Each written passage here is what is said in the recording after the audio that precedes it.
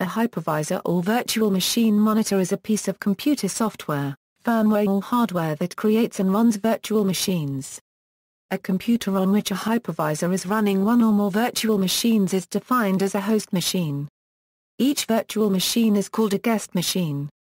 The hypervisor presents the guest operating systems with a virtual operating platform and manages the execution of the guest operating systems. Multiple instances of a variety of operating systems may share the virtualized hardware resources. Classification in their 1974 article Formal Requirements for Virtualizable Third-Generation Architectures Gerald J. Popek and Robert P. Goldberg classified two types of hypervisor, Type 1 hypervisors run directly on the host's hardware to control the hardware and to manage guest operating systems. A guest operating system thus runs on another level above the hypervisor. This model represents the classic implementation of virtual machine architectures. IBM developed the original hypervisors as bare metal tools in the 1960s, the test tool, SIMMON, and CPCMS. CPCMS was the ancestor of IBM's ZVM. Modern equivalents include Oracle VM Server for SPARC, Oracle VM Server for x86, the Citrix Xen Server, VMware ESX ESXi and Microsoft Hyper-V 2008-2012. Type 2 hypervisors run within a conventional operating system environment. With the hypervisor layer as a distinct second software level, Guest operating systems run at the third level above the hardware. VMware Workstation and VirtualBox exemplify Type 2 hypervisors. The classification of specific hypervisor implementations as Type 1 or Type 2 is not always clear-cut. For example, kernel-based virtual machine and bhyve are implemented as a kernel module for Linux and FreeBSD respectively which, when loaded, allows its host operating system to act as a bare metal hypervisor. However, as Linux distributions and FreeBSD are operating systems in their own right, one can argue that KVM and bhyve are Type 2 hypervisors. Microsoft Hyper-V has also been misidentified as a Type 2 hypervisor. Both the free standalone version and the version that is part of the commercial Windows Server 2008 product use a virtualized Windows Server 2008 parent partition to manage the Type 1 Hyper-V hypervisor.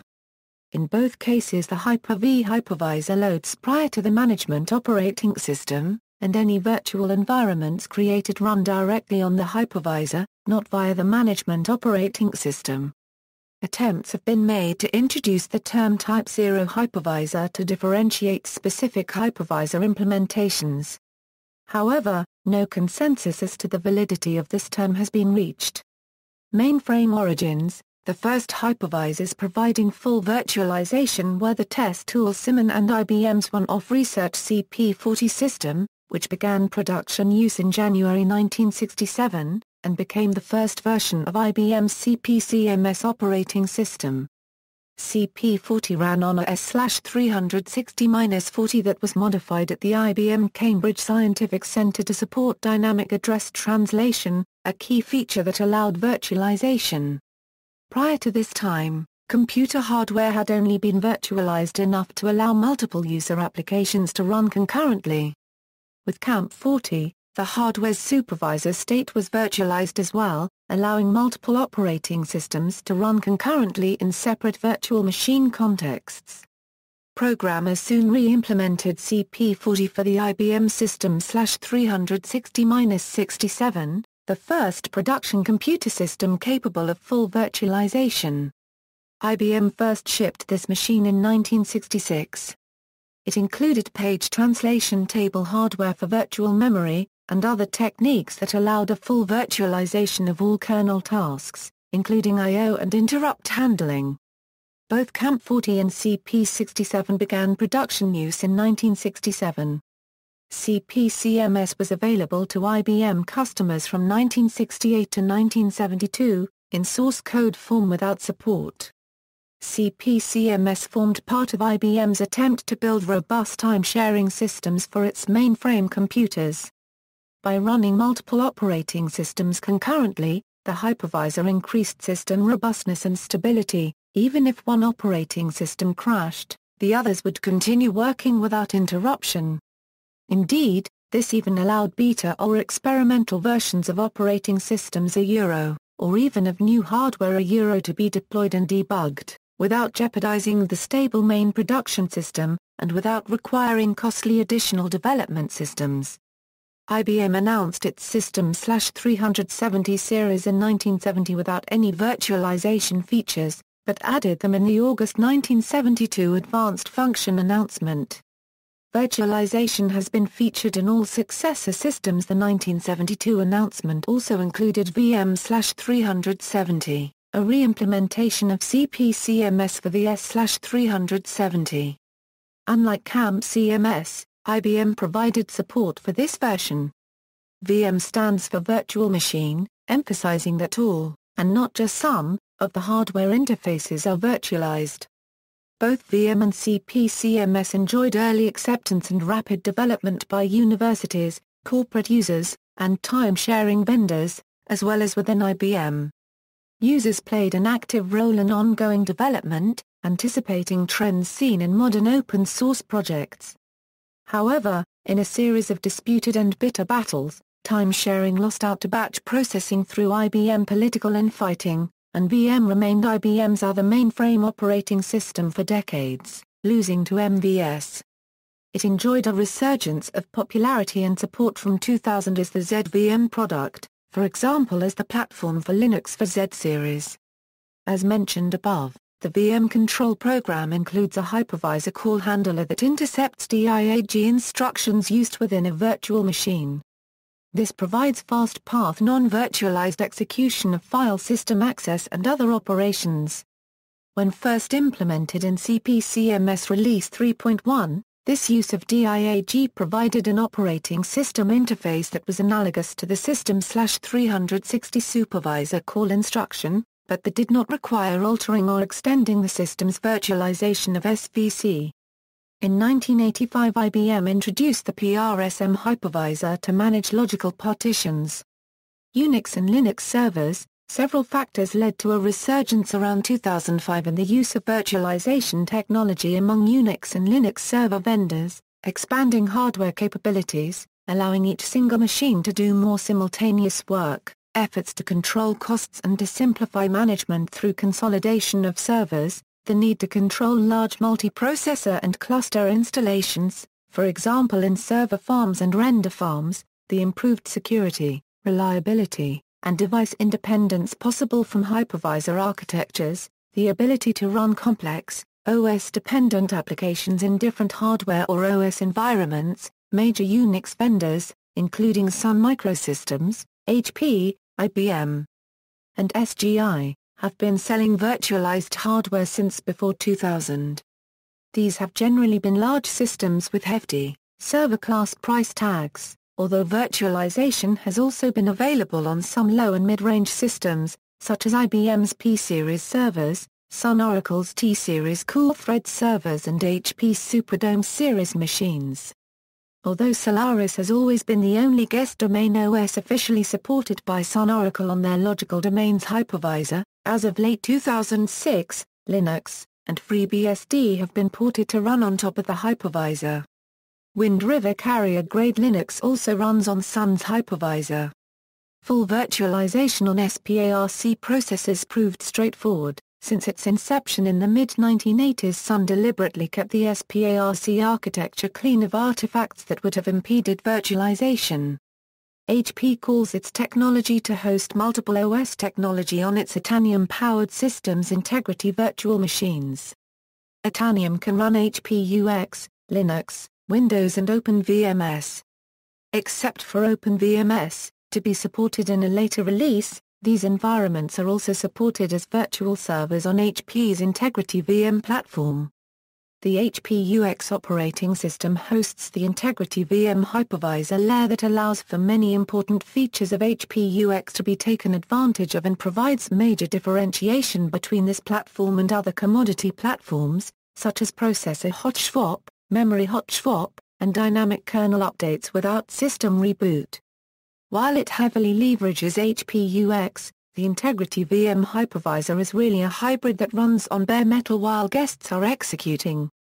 running normal HPUX applications on an Integrity VM host is heavily discouraged, because Integrity VM implements its own memory management, scheduling and I.O. policies that are tuned for virtual machines and are not as effective for normal applications.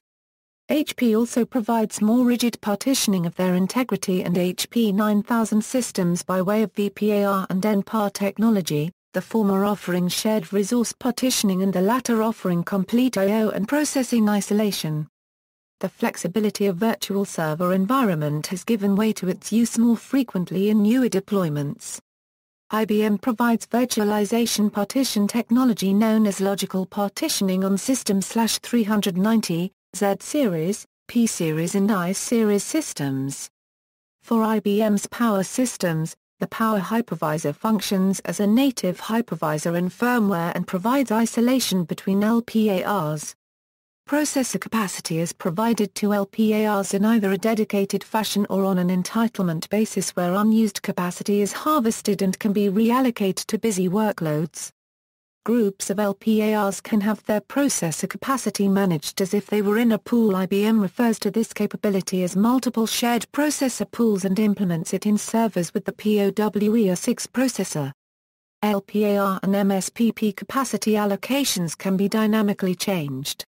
Memory is allocated to each LPAR and is address controlled by the power hypervisor.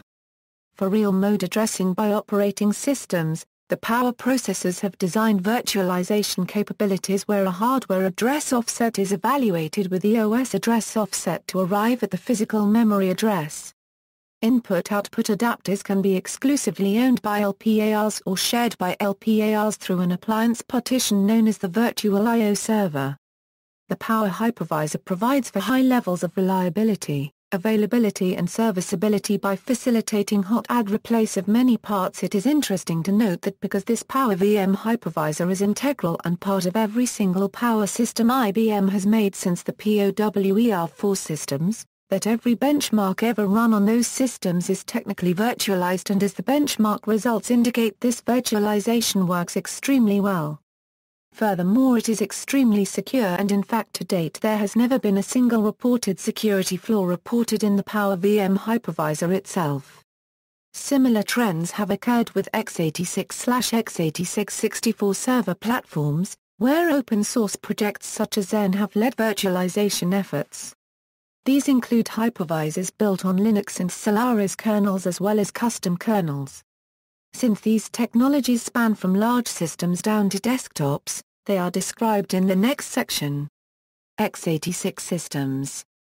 Starting in 2005, CPU vendors have added hardware virtualization assistance to their products, for example, Intel VTX and AMD V.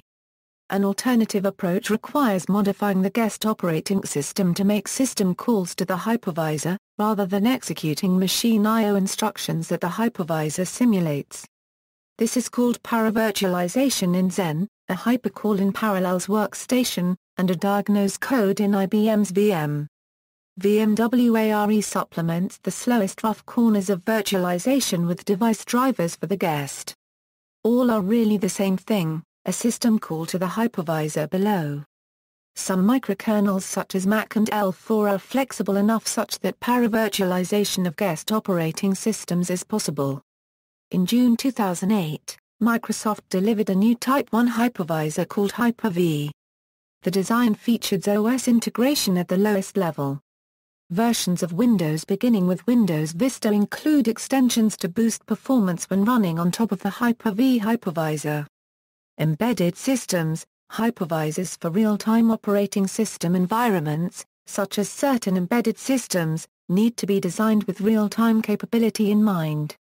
The resource-constrained nature of many embedded systems, especially battery-powered mobile systems, imposes a further requirement for small memory size and low overhead.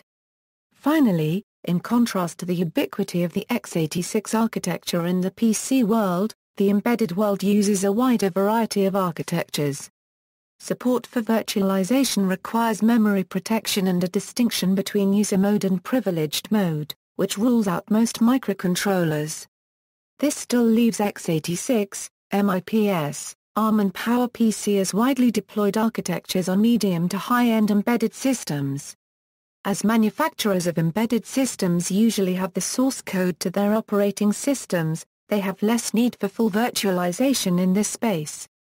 Instead, the performance advantages of paravirtualization make this usually the virtualization technology of choice. Nevertheless, ARM has recently added full virtualization support as an IP option and has included it in their latest high-end processor ARM Cortex-A15 MPCORE. Other differences between virtualization in server desktop and embedded environments include requirements for efficient sharing of resources across virtual machines, high bandwidth, low latency inter-VM communication, a global view of scheduling and power management, and fine-grained control of information flows. Security implications the use of hypervisor technology by malware and rootkits installing themselves as a hypervisor below the operating system can make them more difficult to detect because the malware could intercept any operations of the operating system without the anti-malware software necessarily detecting it.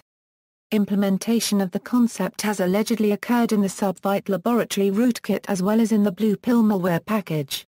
However, such assertions have been disputed by others who claim that it would be possible to detect the presence of a hypervisor-based rootkit.